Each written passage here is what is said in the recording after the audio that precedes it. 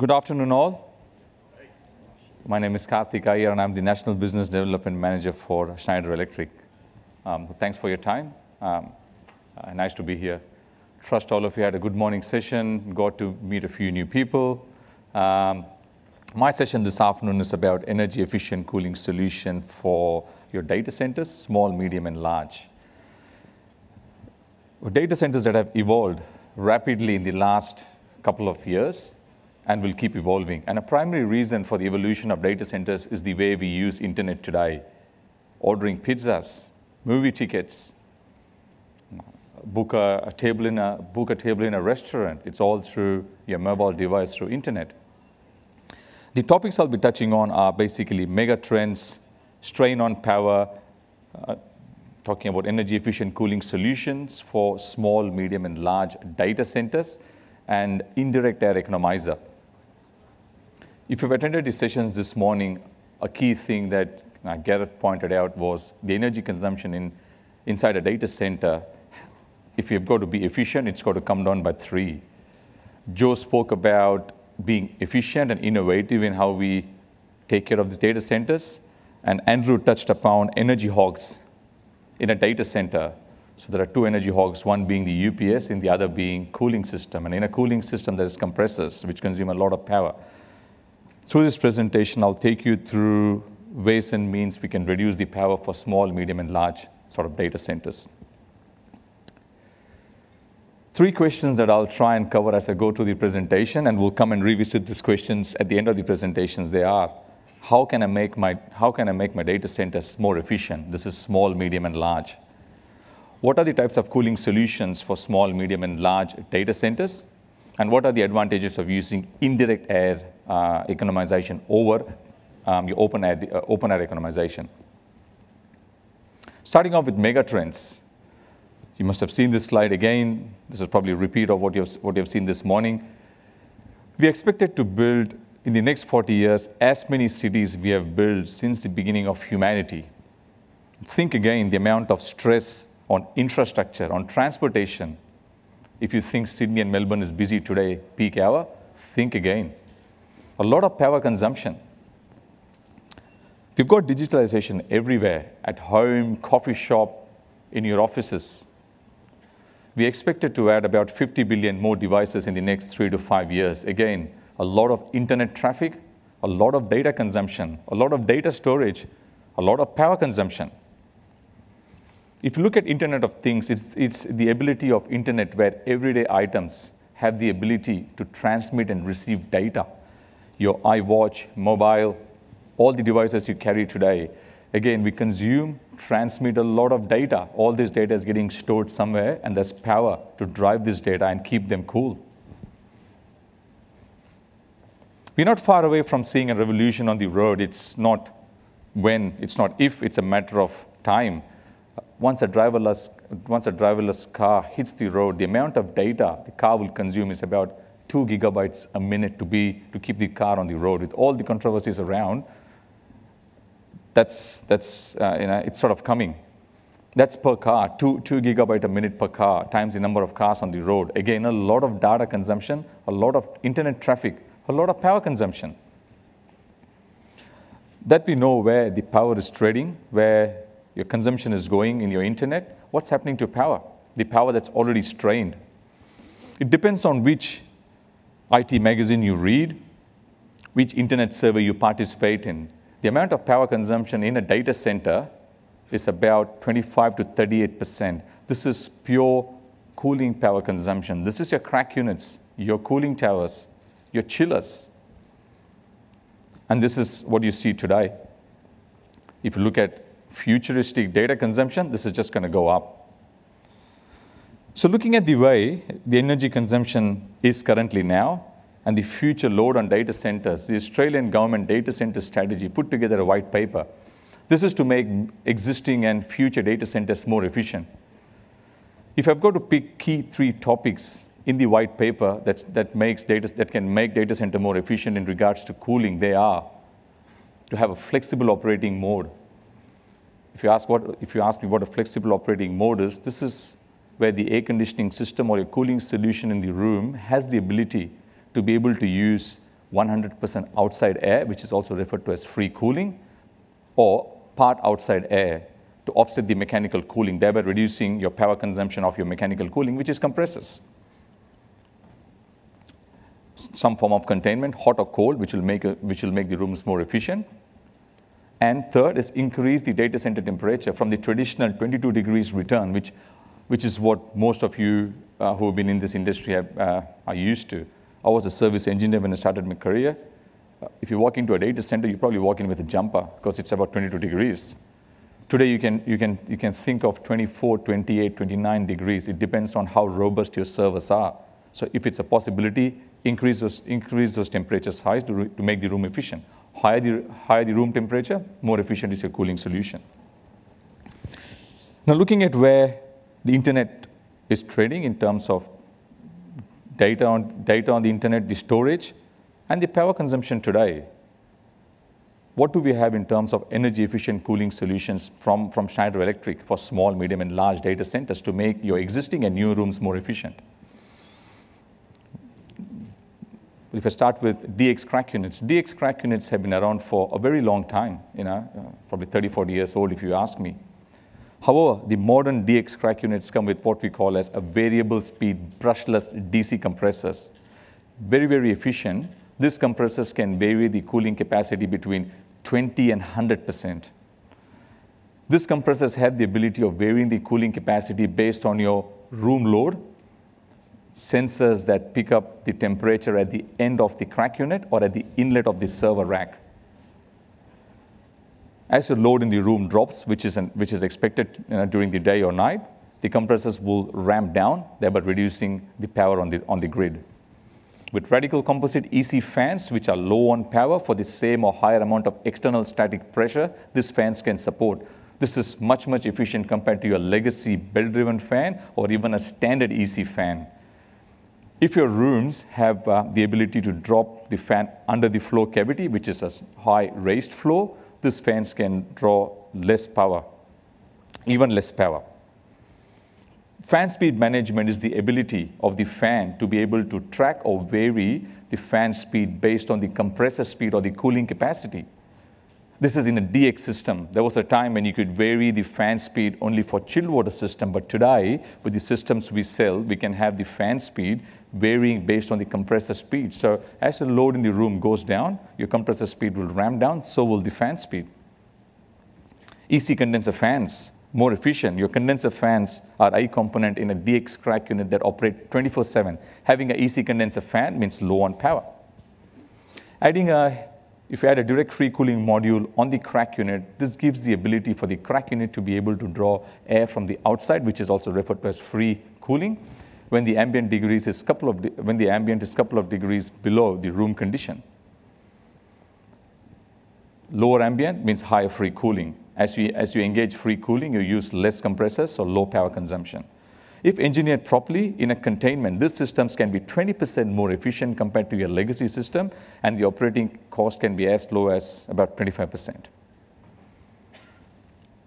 If you look at, if you look at chilled water CRACs, again, going away from the traditional sort of chilled water CRACs where the entering water conditions, if you're from, um, if you're from the mechanical side, they were about seven degrees. Today, these systems can take, take, take in chilled water temperatures ranging from seven to about 20 degrees a big variation. Higher the chilled water temperature, lower is your load on the chiller, lower is the power consumption. Why is it relevant? As your load in the room drops, you don't have to go 100% 7 degree in a chilled water temperature. You can back off the chilled water and back off the chiller. However, your indoor units or your room cooling solutions need to have the ability to be able to take a higher chilled water temperature, which is possible. Again, these chilled water CRAC units can come with vertical composite EC fans, underflow modules, direct free cooling modules, and built-in flow meters that gives the IT user uh, the ability to see the flow of, of the unit on the display. If engineered properly, these systems can be 32% more efficient and 23% lower on operating cost. The systems are available between 6 kilowatt, which is the smallest unit, and go as high as 120 kilowatts in terms of cooling capacity. There's about 50 modules in between. So it fits in small, medium, large data centers. Closed couple cooling, which is also referred to as in-row in-row cooling solution where you take the cooling solution close to your heat load, thereby obviously reducing the power, um, thereby reducing the power consumption. If it's a DX system, you can have a variable speed brushless DC compressors, which gives the ability for the in-row cooling solution to vary the cooling capacity. Hot swappable EC fans, low on power. Real-time display of cooling and current on the touchscreen panel, no different to a to your iPhone where you can see the, uh, the user has the ability to see on the screen the power consumption and the cooling consumption of your in-row cooling. There can be remote sensors that can be deployed in the aisle that can vary the cooling capacity and the fan speed based on what the server inlet rack temperature is. Very, very efficient because you're going away from supply return directly to the, um, to the racks. If engineered properly, obviously missed a point there. If it's a chilled water system, uh, the cooling, the chilled water to the unit can vary between 7 and 20 degrees, exactly like the CRAC units. If engineered properly, these systems can be 30% lower, lower on operating cost in a containment solution. Very, very efficient. And this is, this is a comparison done, done against a traditional in-row chilled water system. Well, not too far away is what we call as technical chillers. These chillers are different to the chillers used by buildings for cooling comfort or human bodies. Technical chillers are capable of operating the chilled water condition between the traditional 7 degrees to 20 degrees. Again, why is it relevant? If you've got your room solution, which is CRAC units and in-row cooling, that can vary the inlet temperature from 7 to 20. You need to have a chiller on the roof, and those chillers can vary the cooling water temperature um, to the in-row units or to your CRAC units. Higher, higher the chilled water temperature, lower is the power consumption. This chilled water come with air, they can be air or water cooled. What we have is air cooled with, with variable speed brushless DC compressors. These compressors can engage and, de and engage and get de-engaged as your cooling load in the room increases or decreases. They come with built-in variable speed pumps, which is chilled water pumps. They come with, they come with built-in water tanks. What this do is they, what this what this does is this reduces your capital cost because your chilled water pumps and your water tanks are built in within the chiller. Once your chiller capacity exceeds your 100 kilowatts, you can have something called a free cooling chiller where you use ambient air to partially compensate mechanical cooling. Once your chiller capacity exceeds 300 kilowatts, you can have what we call as adiabatic chillers. And I've got a couple of slides to, to explain what adiabatic, adiabatic chiller or adiabatic solution is. The capacities we carry is between 6 kilowatts, that is the smallest chiller, which all these features built in, to up to 1.1 megawatt of chiller, and there's about 50 models in between. That, ladies and gents, brings us to one of the latest addition to the Schneider cooling portfolio. Ecoflair is a, a direct air economization designed for large data centers and colos. This forms under the part of this forms under the innovative product that we've launched this year. These chillers are designed for large colos, as I mentioned. 250 and 500 kilowatt is the cooling modules we have today, with plans to launch smaller modules towards the end of this year. These chillers sit outside the white space, so not inside the data center. What it means is it saves the IT manager, your customers, IT users to be able to use this space to add more racks. Indirect air, indirect air to air, indirect air to air economization. What it means is air from the IT room is part cooled by ambient air, which is also referred to as free cooling. However, the air streams don't mix. The biggest advantage of this is we could use the system on free cooling irrespective of the quality of air. Moist air, the air, air with dust, fumes, we can still use it on free cooling. A big contrast to using a system with sort of direct free cooling where the moment the air quality is bad, you, you stop using free cooling. And I've got another slide to explain this in a bit more detail. The system is designed in a way that up to 40% of the room load is cooled by free cooling. So it could be anywhere between 40 and 100 can be, can be free cooled, and the balance is by, and the balance is by mechanical cooling, which is again um, by brushless variable speed DC compressors, which means the compressors can engage and de-engage as the load goes up or down inside the server room. Adiabatic cooling. If I go to quickly capture what this concept is of actually adiabatic cooling, this is the process of adding or spraying water to the air that enters the system. when you add water to dry bulb, the dry bulb, the dry bulb temperature drops close to the wet bulb, thereby giving you the enable, giving you the, giving you the capability to be able to use hot, dry air for free cooling. Again, I've got a slide to explain this in a bit more detail. It's no different to what you see here. This is the best picture I could get to get, you know, to get your attention. So if we ignore the lady on the picture, that's adiabatic cooling, what she's doing. She's got a fan in her hand, a little water pot attached to the fan. The moment you press the water, water is sprayed onto the fan, and that drops the dry bulb close to the wet bulb. And that's basically adiabatic cooling, obviously properly engineered in, uh, in the Ecoflair units we sell. I, spend, I take a minute again to explain what maximum availability is. The, the ability of the system to have isolated airstream, which means the air from the IT room does not mix with the air, with the ambient air, gives the system the ability to be able to use free cooling irrespective of the quality of air. So you can install this system anywhere in the globe and you should be able to use it on free cooling any, any type of air outside. The ability to have the ability to have adiabatic cooling enables the system to be able to use free cooling irrespective of the temperature of the air. To just put this into perspective, on a hot, um, a typical summer day anywhere in Australia, let's take the East Coast, Brizzy, could be 35 degrees. On that, on that particular day, if you add water to that temperature, the wet bulb depression between the dry bulb and the wet bulb is expected to be about, it's expected to be about, about 15 degrees, which means you can drop the dry bulb right close to the wet bulb and, and, use, the, and use the system for free cooling. This picture will make a, make a bit more sense of what I'm explaining. Air from the IT room, which is air from the right-hand side or left-hand side, the way you look at it, um, is ducted back to the Ecoflair. This is air at hot aisle temperature from the IT room. This air is channelized through a set of filters, through a set of coils, five to 7,000 tubes that form a part of a um, that forms a part of a polymer heat exchanger, which is the green body in between. This heat exchanger enables the ambient air that falls, flows over the heat exchanger, no contact whatsoever, and it's actually sucked from the top, thereby enabling a heat transfer. So no contact, just heat transfer. The air that leaves the Ecoflair is expected to be at about the temperature that you need in the cold aisle. If there is a gap, the mechanical top-up cooling, which is variable speed brushless DC compressors, kick in at that point to just compensate the load. The system is designed in a way that at any given point of time, any global locations, the maximum amount of free cooling is 40. I mean, the minimum amount of free cooling is 40. You can have anywhere between 40 and 100. Lower the ambient temperature, more is the use of free cooling.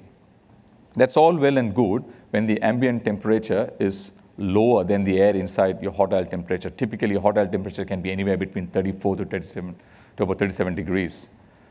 When the ambient, ambient temperature is higher or closer to the air that's entering the Ecoflair, we turn on what we call as adiabatic cooling, spraying water at the point where the air enters the Ecoflair and on the heat exchanger drops the dry bulb temperature close to the wet bulb which ensures that the system can use free cooling all through the year. 60% lower on operating cost compared to your legacy chilled water system, and PUEs, which is measured on a site in England, close to 1.03, and which is sort of unheard when you look at cooling large data centers. That, ladies and gents, brings us to the question that I had at the start of the presentation. How can I make my data centers more efficient? opt for cooling technologies, DX, chilled water, that has the ability to follow the room loads, going away from the traditional way where the systems went on and off based on the return air temperature on the CRAC unit. Now we follow what's happening inside the load, inside the crack, inside the server, and we vary the cooling capacity. What are the types of cooling solutions for small, medium, and large data centers, small and medium data centers, sorry. DX and chilled water CRAC units, in-row cooling solutions, and technical chillers. So technical chillers, again, very relevant. If you've got space issue, chillers as small as 6 kilowatts are available today, and there's about 50 models, as I said, between 6 and 1.1 megawatts. These chillers can be deployed to marry with the in-row or room cooling solution. and what are the advantages of using indirect air economization. Having an isolated airstream, which enables the system to be able to use free cooling irrespective of the quality of air, and having an adiabatic system which enables the system to use free cooling irrespective of the ambient, ambient temperature, enables the system to use this all through the year. That's, that, ladies and gents, is the latest cooling technologies, energy efficient for small, medium, and large data centers. I'm looking at the clock here. I'm, I'm against time. If there's any questions, I need to be take, I should take it at the foyer. Is that right? Thank you.